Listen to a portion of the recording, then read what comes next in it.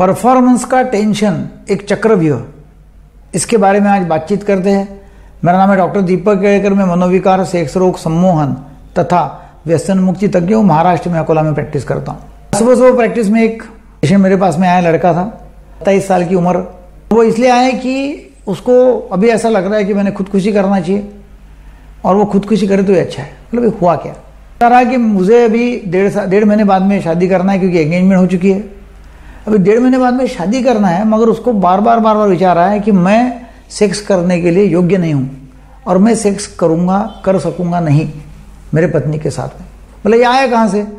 तो वो आया ऐसा कि भाई कम से कम छः महीना पहले उसने अपने गर्लफ्रेंड के साथ में सेक्स किया तो उसमें वो फेल हो गया।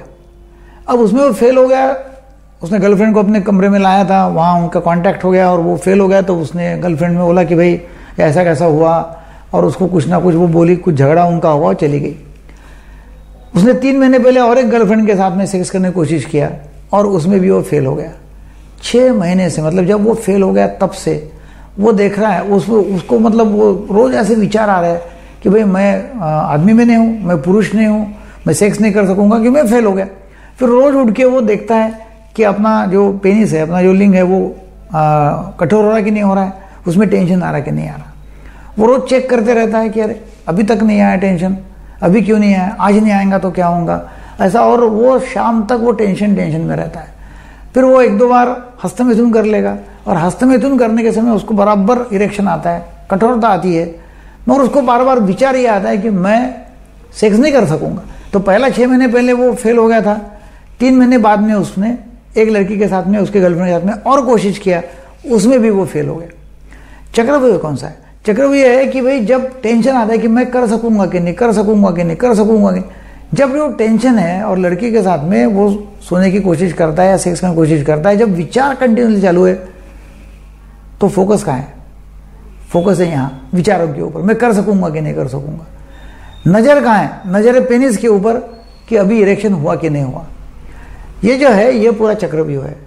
वो इरेक्शन आता नहीं है, करके और टेंशन दिमाग में आता है। दिमाग में और टेंशन आता है। करके पेनिस में कठोरता आती नहीं है। मतलब ये चक्रव्यूह में मैं एक बार आदमी फंस गया, उसमें से निकलना बहुत कठिन हो जाता है। मैंने उसको ये बताया कि देख भैया, अभी डेढ़ महीने बाद में शादी है, शादी कर ले। शादी करने के बाद में फिर और उसको जो भी है, वो बोल दे कि जो भी है, हुआ ऐसा ऐसा हुआ है और ये प्रॉब्लम मुझे है। और इसमें से बिल्कुल अच्छा हो सकता है तो because it is all it is मतलब almost it's a situational performance anxiety है। उसमें ठीक हो जाएगा, कोई प्रॉब्लम नहीं है, क्योंकि वैसा हस्तमिथुन कर सकता है, कोई प्रॉब्लम नहीं है उसमें। नहीं नहीं, बोले, मुझे पहले अच्छा करो और बाद में मैं शादी करूँगा, नहीं तो फिर मैं आत्महत्या कर लेता हूँ। उसको काफ़ी काउंसिलिंग किया। उसको फिर मैंने कुछ मेडिसिन दिया कि जो मेडिसिन उसको एंग्जाइटी कम करेगी।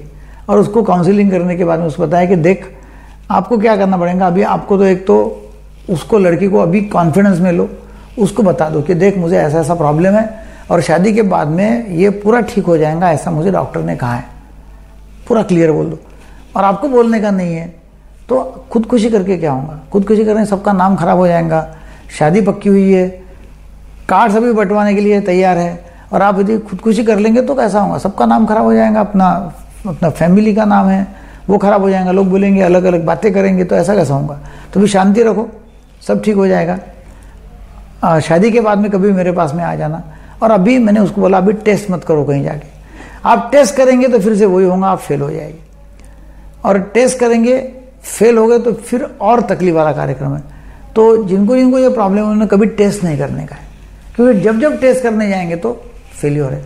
मैं ये लोगों को क्या करता हूँ, उनको मैं काउंसिलिंग के लिए बुलाता हूँ। काउंसिलिंग के लिए पहले उनको बोलता हूँ कि पहले एक दूसरे से अकस्तम हो जाओ। एक्वेंटेड हो जाओ। पहचान लो। बातें करो। ऐसा कुछ नहीं है कि शादी के बाद में पहले दिन ही सेक्स करना ज़रूरी है, ऐसा कुछ भी नहीं है। बाद में फिर प्यार करो हक करो किस करो। मतलब जितना आपको पहले इंटरकोर्स करने के अलावा मतलब वो छोड़ के बाकी सब करो जो करना है। वो मगर उसके पीछे में जाओ कि मुझे वो करना ही है करके। एक, दो दिन, तीन दिन ऐसा होने के बाद में धीरे धीरे धीरे आपको कॉन्फिडेंस आ जाएगा। आप एक दूसरे को पहचानना चालू करेंगे और धीरे धीरे वो सब कुछ अच्छा हो जाएगा। तो यदि उनको सभी पेशेंट को हम जब ऐसा बोलते हैं तो धीरे धीरे वो अच्छे हो जाते हैं और उनका लाइफ ठीक हो जाता है। मगर यदि दिमाग में इसने ऐसा विचार किया कि नहीं, होता ही नहीं है, ये संभव ही नहीं है, और अभी तो मुझे खुदकुशी करनी है तो इनको कोई मदद नहीं कर सकता है, क्योंकि वो चक्रव्यूह में फंसे हुए हैं। ये वीडियो आपको अच्छा लगा तो ज़रूर लोगों को शेयर करो। Thank you very much